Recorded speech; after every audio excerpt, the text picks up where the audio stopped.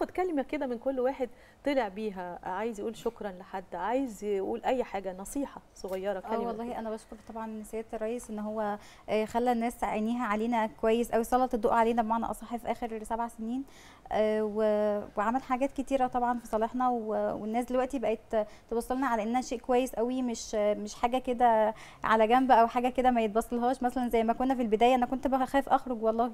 فالحمد لله طبعا على ده وان شاء الله انت نكون قد تخرجي. ورافعة راسك. وواثقه فعلاً. من نفسك وعارفة قد إيه انت مهمة دلوقتي فعلا منين ما. بمشي خلاص الناس اتعودت قوي علينا في كل مكان طبعا ده جميل جدا إحنا فخورين. بيكم مش اتعودنا فخورين بيكم أيوة. أيوة كلمة. طبعا بشكر أهلي خصوصا ماما وبابا بشكرهم جدا. آه، بشكر طبعا سيادة الرئيس على إن أنا لما بروح في أي مكان أعمل أي حاجة آه، بلاقي الخدمة ليا أولا ثم للشخص التاني بعد كده. آه، طبعا نفسي أقول نصيحة للمجتمع.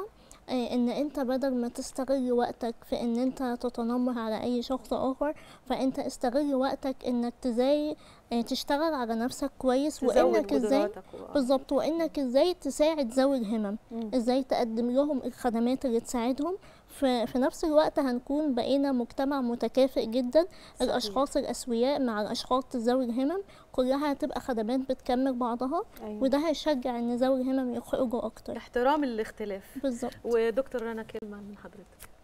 أول طبعا حد هشكره هو سيادة الرئيس على التكريم اللي هو يعني منحه لي أنا يعني كل التكريمات اللي أنا اتكرمتها في حياتي كلها كوم يعني كلها حاجة و- والتكريم ده بالذات حاجة تانية. هو فعلا آه، ال- الأغلى والأقرب إلى قلبي يعني آه، انت يعني أنا قمر فخ- وجميلة. تستاهلي كل مبروك عليك. وعلينا مدينة المنصورة. أشكرك. فأنا أيوة. فعلا فخورة بالتكريم ده وحابة أقول شكرا لأهلي وشكرا لأساتذتي في المدرسة وفي الكلية. لأن هم سلموني أمانة آه، يعني أرجو إن أنا أكون قدها. أنا بحاول أسلمها للطلبة بتوعي شاء إن الله. أنا أكون إن قدها. شاء الله قد الأمانة رب. النجاح على طول يا يا. دكتور رنا. رب. آه، هديل كلمتك أو آه، مصر تتحدث عن نفسها. كنت بتعملي بروفا قبل الهوا كده عن مصر تتحدث عن نفسها. أم كلثوم. وقف الخلق. نسمع حاجة ولا تقولي لا كلمة هتغنوا مع كلمة بعض. أنتوا هتغنوا مع بعض. كلمة تاني الأول. أيوه ده طلب. أقول كلمة الأول. طلب بقى. طيب. وفي هتقولي كلمة وأغنية. وهتغنوا بقى انت وبعدين ومنى نقول لكم شكرا. هنخرج بقى بعد كده بالأغنية. أنا برضو بشكر طبعا الأهالي جدا اللي بتدعم. أولادها من ذوي الهمم وإن هم يشتغلوا على ده طيب. دايما. تمام وبشكر أهلي طبعا جدا. طيب.